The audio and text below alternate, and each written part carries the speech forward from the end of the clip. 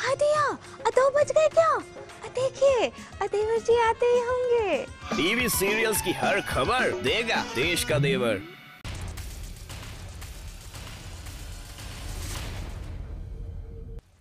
नमस्कार आप देख रहे हैं सारा देश सौ खबरें और मैं हूँ आपके साथ अर्पिता आर्या। और मैं हूँ स्वाति नेगी। देश और दुनिया की तमाम खबरों के लिए अगले आधे घंटे बने रहिए हमारे साथ। मध्य प्रदेश में शिवपुरी में एक साल की बच्ची की जान एक स्टील के मटके में अटक गई। दरअसल खेलते खेलते बच्ची का सिर स्टील की मटकी में फंस गया। बच्ची का सिर स्टील के मटके में फंसा देखकर घर वालों की जान सांसत में आ गई। आनंद फानन में इलेक्ट्रिक काटर से मटकी को काटने की कोशिश शुरू कर दी गई। करीब पाँच घंटे की कवायद के बाद बच्ची का सर मटकी से निकाला जा सका। तस्वीरों में आप देख सकते हैं कि किस तरह से स्टील के मटकी में बच्चे फंसे बच्ची का सर फंस गया और उसको निकालने की कोशिश की जा रही है। बच्चे की सही सलामत बचने के बाद परिवार के लोगों ने राहत की सांस ली। मुंबई के लोअर परेल स्टेशन के पास यार्ड के नज़दीक में ट्रेन का एक डिब्बा पटरी से उतर गया। बताया जा रहा है कि रात करीब दो बजे यह हादसा स्लो डाउन ट्रैक पर हुआ। हादसे के बाद स्लो ट्रैक के अप और डाउन दोनों ट्रैकों को बंद कर दिया गया है। वहीं स्लो ट्रैक की ट्रेनों को फास्ट ट्रैक पर डाइवर्ट किया गया है। हादसे के बाद धीमी गति की लोकल ट्रेनों पर असर पड़ा है। विरार से आने वाली ट्रेन दादर में रोकी जा रही है। सभी लोकल ट्रेनें 30 से 40 मिनट लेट। पंजाब के संगरूर ज़िले में चलती बस में दो लड़कियों के साथ छेड़छाड़ का सनसनीखेज वीडियो सामने आया है। छेड़छाड़ से परेशान होकर दोनों लड़कियाँ चलती बस से नीचे कूद गई चलती बस से कूदने के चलते एक लड़की की मौत हो गई वहीं दूसरी लड़की गंभीर रूप से घायल हो गई। लड़कियों की पूरी आप बीती सीसीटीवी कैमरे में कैद वारदात में घायल लड़की ने बस कंडक्टर पर छेड़छाड़ के दौरान बस नहीं रोकने का आरोप लगाया है। वहीं पुलिस का कहना है कि युवती की मौत उसी की लापरवाही की वजह से हुई। कर्नाटक के हसन में पैसे के लेन देन को लेकर दो गुटों में खूनी संघर्ष हो गया। वारदात में सरेआम एक युवक की चाकू गोद कर हत्या कर दी गई। हत्या और खूनी संघर्ष की पूरी वारदात मौके पर मौजूद। एक शख्स ने अपने कैमरे में कैद कर ली। पुलिस ने आरोपी युवक को गिरफ़्तार कर लिया है। यूपी के बागपत में एक बार फिर पुलिस वालों की गुंडाई देखने को मिली। आरोप है कि अवैध कब्जे की शिकायत करने दो पुलिस वालों ने एक रिटायर्ड फौजी को सरेआम बुरी तरह से पीट दिया। पीड़ित फौजी के मुताबिक उसके पड़ोसियों ने सड़क पर अवैध कब्जा कर रखा है जिसकी शिकायत करने पर पुलिस वाले ने जाँच के लिए आए थे। पीड़ित के मुताबिक कार्रवाई करने की बजाय पुलिस वालों ने उसे ही पीट दिया। राजौरी के बाबा गुलाम शाह बादशाह यूनिवर्सिटी के पास के जंगलों में एक बार फिर आग लग गई है। तेज़ी से फैलती आग को बुझाने में कड़ी मशक्कत के बाद कामयाबी हासिल हुई। आगरा में यमुना को गंदगी मुक्त कराने की अपील को लेकर लोगों ने एक अनोखा प्रदर्शन किया। बड़ी संख्या में लोग यमुना नदी के किनारे पहुँचे और फिर रेत से स्नान किया। लोगों का कहना है कि यमुना की गंदगी से पर्यटकों में शहर की छवि खराब हो रही है। चीन के जियांग चाओशान इंटरनेशनल एयरपोर्ट पर भारी बारिश के बीच एक एयरलाइंस पर बिजली गिर गई। तस्वीरों में आप देख सकते हैं कि किस तरह से आसमान से बिजली प्लेन के ऊपर गिरती है। राहत की बात यह रही कि जानमाल का कोई नुकसान नहीं हुआ। चीन के तियानताई शहर में सीमेंट से भरा एक ट्रक सड़क पर अचानक बने गड्ढे में गिर जाता है। हादसे में ड्राइवर किसी तरह बच निकलने में कामयाब हो गया। हालाँकि उसे हल्की चोटें आई हैं। श्रीलंका के हवनटोटा में एक हाथी का बच्चा एक गड्ढे में गिर गया। हाथी के बच्चे को बचाने के लिए बचाव दल को कड़ी मशक्कत करनी पड़ी। काफ़ी कोशिशों के बाद बच्चे को गड्ढे से निकाला जा सका। इराक के फलूजा शहर को आईएसआईएस के कब्जे से छुड़ाने के लिए इराकी सेना ने पूरे शहर को घेर लिया है। सेना और आतंकियों के बीच लगातार गोलीबारी जारी है। सेना के मुताबिक उसने शहर का अस्सी फ़ीसदी इलाका आईएस के कब्जे से छुड़ा लिया है और जल्द ही पूरे शहर पर इराकी सेना का नियंत्रण होगा। साउथ ईस्ट दिल्ली के कालकाजी इलाके में गैस एजेंसी के मैनेजर से लूट मामले में पुलिस ने दो सगे भाइयों समेत पाँच लोगों को गिरफ़्तार किया है साथ ही लूट की रकम भी बरामद कर ली गई है। बता दें कि 28 मई को गैस एजेंसी के मैनेजर अमित की आँखों में मिर्ची पाउडर छोक कर डेढ़ लाख से ज़्यादा की रकम लूट ली गई थी। पूरी वारदात के पीछे गैस एजेंसी में काम करने वाले ड्राइवर का हाथ था, जिसने गैस एजेंसी से कैश ले जाने की खबर अपने सगे भाई को दी थी। नॉर्थ वेस्ट दिल्ली के जहांगीरपुरी में एक युवती को बच्ची समेत अगवा कर 11 दिनों तक रेप करने का मामला सामने आया। रेप का आरोप युवती के पड़ोस में ही रहने वाले युवक पर लगा है और उसके भाई पर लगा है। युवती का आरोप है कि उसे एक किराए के कमरे में कैद करके रखा गया था जहाँ ढाई साल की उसकी बच्ची की गर्दन पर चाकू रखकर दोनों से रेप करते थे। पुलिस ने आरोपियों को गिरफ़्तार कर लिया है। दिल्ली के वजीराबाद इलाके में एक ट्रक और ऑटो की टक्कर का हादसा सामने आया। बताया जा रहा है कि हादसे में तीन लोग बुरी तरह से घायल हो गए। कोलकाता के विधाननगर इलाके में युवती को अगवा कर चलती गाड़ी में रेप का मामला सामने आया है। बताया जा रहा है कि लड़की कोलकाता के बागुई हाटी इलाके में एक भाड़े के मकान में रहती है और एक बार में सिंगर का काम करती है। आरोप है कि घर लौटने के दौरान लड़की को जबरन उठा लिया गया और उसकी चलती गाड़ी में उसके साथ गैंगरेप किया गया। पुलिस सीसीटीवी फुटेज खंगाल रही है। पश्चिम बंगाल के हावड़ा में ही चौथी क्लास में पढ़ने वाली छात्रा के साथ रेप का मामला सामने आया है। आरोपी को स्थानीय लोगों ने पुलिस के हवाले कर दिया है। यूपी के गाजीपुर में घर से एक युवक और विवाहिता के शव बरामद किए गए। पुलिस को दोनों के बीच प्रेम संबंध का अंदेशा है।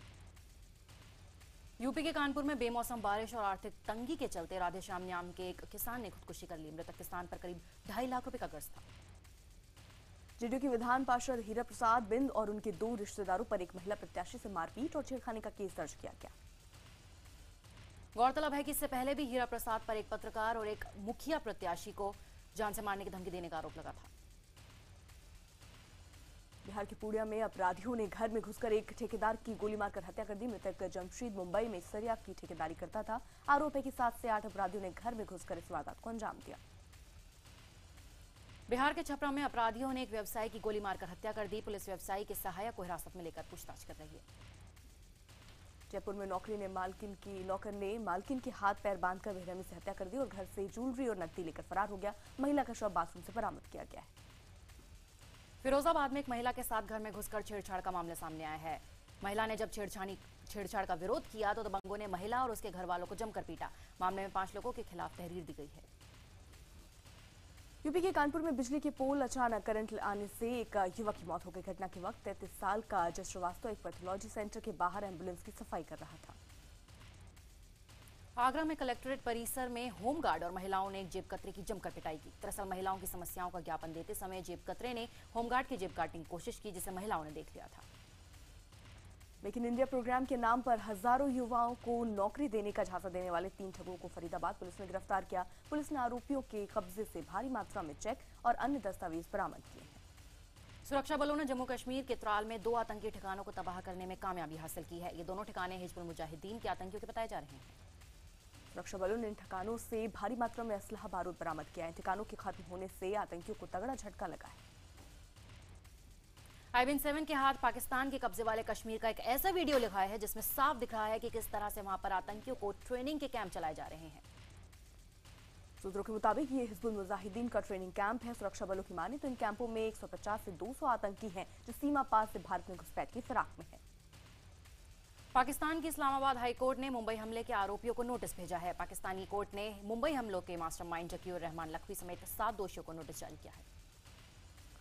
इस्लामाबाद हाईकोर्ट ने पाक सरकार को भी नोटिस दिया है जिसमें आतंकियों के द्वारा इस्तेमाल की गई बोर्ड की जाँच के लिए कमीशन बनाने की अपील की गई है। हाईकोर्ट ने ट्रायल कोर्ट में भी केस रिकॉर्ड की रिपोर्ट मांगी है।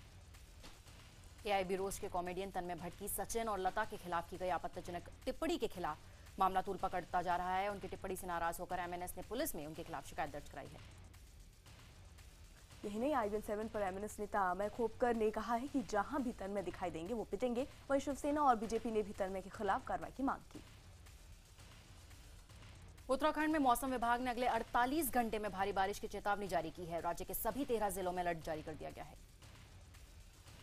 चेतावनी को देखते हुए एनडीआरएफ और एसडीआरएफ की तैनाती भी कर दी गई है। आपदा से बचाव के लिए गढ़वाल मंडल की छह और कुमाऊं मंडल की पाँच अति संवेदनशील जगहों पर खास ध्यान देने को कहा गया है। उत्तराखंड में बारिश और तूफ़ान के चलते आज सेना और वायुसेना के अधिकारियों की मौजूदगी में आपदा से जुड़े सभी विभागों की बैठक बुलाकर तैयारी का जायजा लिया जाएगा। उधर उत्तराखंड में बादल फटने के बाद बेघर हुए लोगों का गुस्सा बढ़ता जा रहा है। सरकारी बद इंतजामी से परेशान इन लोगों ने हाल जानने आए अधिकारियों की पिटाई भी कर दी। लोगों को आरोप है कि आपदा के चार दिन बाद तक कोई उनका हाल पूछने नहीं आया और उनके बच्चे भूख से बेहाल हो गए हैं। यही नहीं, गुस्साए लोगों ने चार धाम यात्रा मार्ग को भी जाम कर दिया। फेसबुक पर प्रधानमंत्री नरेंद्र मोदी के खिलाफ लिखे गए आर्टिकल को लाइक करने और पीएम मोदी के खिलाफ टिप्पणी करने को लेकर बड़वानी के पूर्व कलेक्टर अजय गंगवार को मध्य प्रदेश सरकार ने कारण बताओ नोटिस दिया है। बता दें कि अजय गंगवार को पूर्व प्रधानमंत्री नेहरू की फेसबुक पर तारीफ़ करने के बाद राज्य सरकार ने बड़वानी के कलेक्टर पद से हटाकर भोपाल में मंत्रालय में उपसचिव बना दिया था। कांग्रेस ने मध्य प्रदेश सरकार की कार्रवाई पर सवाल उठाते हुए इसे अभिव्यक्ति की आज़ादी का हनन बताया तो बीजेपी ने कहा कि अधिकारी का सर्विस रूल है जिसका अजय गंगवार ने उल्लंघन किया। यूपी के लखनऊ में कृषि निदेशक कार्यालय में उप कृषि निदेशक एक क्लर्क को गालियाँ देते कैमरे में कैद हो गए। गुस्से में उप कृषि निदेशक आपा हो बैठे और टेबल पर रखे पेपर वेट को उठाकर क्लर्क को मारने तक उठ गए। पाकिस्तान की विस्थापित छात्रा मशल मामले में आईबीएम सेवन की खबर का असर हुआ। आईबीएम सेवन पर खबर दिखाए जाने के बाद विदेश मंत्री सुषमा स्वराज ने भरोसा दिलाया है कि मशल का एडमिशन मेडिकल में हो जाएगा। मशल ने आई सेवन को धन्यवाद दिया है। मशल ने एडमिशन के लिए पहली वरीयता राजस्थान और दूसरी गुजरात बताई थी। लेकिन विदेश मंत्री सुषमा स्वराज ने उन्हें कर्नाटक का ऑफ़र दिया। यूपी के मिर्जापुर में सेल्फी का जुनून एक बार फिर भारी पड़ा है। चुनादरी जलप्रपात का एक पर पिकनिक मनाने गए। दो छात्र फ़ोटो खिंचवाते समय फिसलकर गहरी झील में गिरकर डूब गए। गोताखोरों की मदद से डूबे हुए छात्रों की तलाश की जा रही है। दोनों छात्र बीएचयू के एमबीए फाइनल ईयर के स्टूडेंट हैं जिनमें से एक हैदराबाद का तो दूसरा दिल्ली का रहने वाला है। आरटीआई में हुए एक खुलासे ने हड़कम मचा दिया है। खुलासे के मुताबिक ब्लड ट्रांसफ्यूजन की वजह से पूरे देश में 2234 मरीजों को एचआईवी ट्रांसमिट हुआ है। जिन राज्यों में सबसे ज़्यादा एचआईवी ट्रांसमिशन के मामले सामने आए हैं, उनमें सबसे आगे उत्तर प्रदेश है। दूसरे नंबर पर गुजरात, तीसरे पर महाराष्ट्र और चौथे नंबर पर दिल्ली है। दरअसल ब्लड बैंक में खून जमा खून को कई बार बिना जाँच के ही जरूरतमंद को देने की एचआईवी वायरस फैल रहा है। सरकार ने पूरे मामले की जाँच के आदेश दे दिए हैं। रेल मंत्री सुरेश प्रभु ने परेल टर्मिनस के काम का शुभारंभ कर दिया है। इक्यावन करोड़ रुपए की लागत से बन रहे इस टर्मिनस से मुंबई करों को काफ़ी उम्मीदें हैं। काम अगले तीन साल में पूरा होगा। परेल टर्मिनस के डिज़ाइन में दो अ, फुटओवर ब्रिज हैं जिसमें से एक इंडिया बुल्स मिल्स के पास होगा जिसमें परेल जाने वाले लोगों को दोनों तरफ़ से उतरने में आसानी होगी। अदनान सामे के बाद अब गायिका और अभिनेत्री सलमा आगा को सरकार ने लाइफ टाइम वीज़ा देने का फैसला कर लिया है। अब वो जब चाहे भारत आ सकेगी। सलमा आगा ने इसके लिए भारत सरकार का शुक्रिया अदा किया। ब्रिटेन के एक अस्पताल में ओपन हार्ट सर्जरी के से पहले पाकिस्तान के प्रधानमंत्री नवाज़ शरीफ ने पीएम मोदी को फ़ोन किया। टेलीफोन पर बातचीत के दौरान मोदी ने शरीफ के जल्द स्वस्थ होने की कामना की। राज्यसभा के लिए मुसलमानों को टिकट न दिए जाने पर आरजेडी में बवाल बढ़ गया है। आरजेडी नेता एजाज अली ने कहा कि दो सीटों पर यादव और मुसलमानों के नाम मिलना चाहिए था। आरजेडी नेता दूसरी सीट पर राम जेठमलानी का नाम दिए जाने से भी नाराज़ हैं। एजाज ने कहा कि अगर जेठमलानी लालू को चारा घोटाले में क्लीन चिट दिला सकते हैं तो ठीक है, नहीं तो लालू ना इधर के रहेंगे और ना उधर के। गौरतलब है कि अभी तक जिन उम्मीदवारों के नामों का ऐलान हुआ है या फिर नामांकन भरा गया है उनमें सिर्फ़ बीजेपी के ही दो मुस्लिम उम्मीदवार हैं एक मुख्तार अब्बास नकवी और दूसरे एमजे अकबर। सोमवार को केंद्रीय शहरी विकास मंत्री वेंकैया नायडू ओम माथुर जयवर्धन सिंह और रामकुमार वर्मा ने जयपुर से राज्यसभा का पर्चा दाखिल किया। वहीं बिहार से लालू की बेटी मीसा और राम जेठमलानी ने आरजेडी से पर्चा दाखिल किया तो जेडीयू से शरद यादव ने नामांकन भरा। वहीं यूपी से कांग्रेस नेता कपिल सिब्बल और पंजाब से अंबिका सोनी ने पर्चा भरा। समाजवादी पार्टी की राष्ट्रीय लोकदल के मुखिया अजीत सिंह ने से नजदीकी पर शिवपाल यादव और रामगोपाल यादव में मतभेद दिखाई पड़ रहे हैं। शिवपाल यादव ने आरएलडी के साथ गठबंधन की चर्चा पर कहा कि बात चल रही है और आरएलडी ने गठबंधन से हो सकता है। वहीं प्रोफेसर रामगोपाल यादव ने अजीत सिंह से नजदीकी पर बड़ा बयान दिया है। उन्होंने कहा है कि जो लोग राजनीति में विश्वसनीयता खो चुके हैं, उनसे किसी भी दल को समझौता नहीं करना चाहिए। राष्ट्रपति प्रणब मुखर्जी ने एक कार्यक्रम में बोलते हुए अफ्रीकी मूल के लोगों पर हुए हमलों को लेकर चिंता ज़ाहिर की और सरकार द्वारा इस मामले में उठाए गए कड़े कदमों की तारीफ़ भी की। इस बीच दिल्ली पुलिस कमिश्नर ने भी अफ्रीकी मूल के लोगों के डेलीगेशन से मुलाकात की। दिल्ली में अफ्रीकी नागरिकों पर हुए हमले के विरोध में अफ्रीकन छात्रों ने दिल्ली के जंतर मंतर पर विरोध प्रदर्शन किया। सोमवार तड़के ओला कैब के एक ड्राइवर की कुछ अफ्रीकी मूल के नागरिकों ने बुरी तरह से पिटाई कर दी थी। पीड़ित ड्राइवर के मुताबिक जब उसने टैक्सी में चार से ज़्यादा लोगों को बैठाने से मना किया तो उसकी बुरी तरह पिटाई कर दी गई। ड्राइवर अस्पताल में इलाज चल रहा है। ओला ड्राइवर का आरोप है कि छह अफ्रीकी मूल के लोगों ने उस पर हमला किया। पुलिस ने एक महिला को पकड़ा है, जबकि बाकी पाँच लोग फरार हो गए हैं। जाँच में पता चला है कि ये महिला रावंडा मूल की है।